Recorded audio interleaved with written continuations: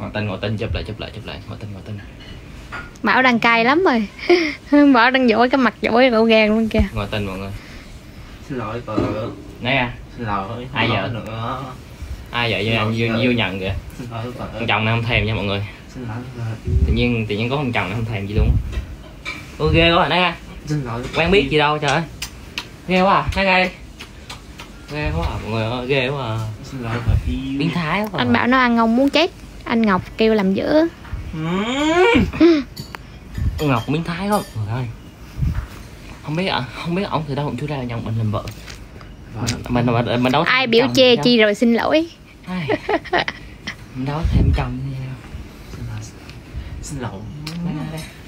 Không rồi coi cơm chó chung nè dinh tóc đỏ. Mở mở mắt ra thấy. Thì cả mới mở mắt ra là cơm chó đầy mặt rồi đó.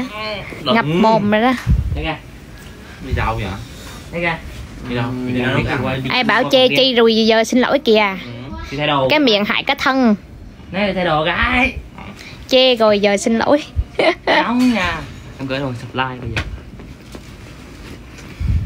Rồi cuối cùng nó đã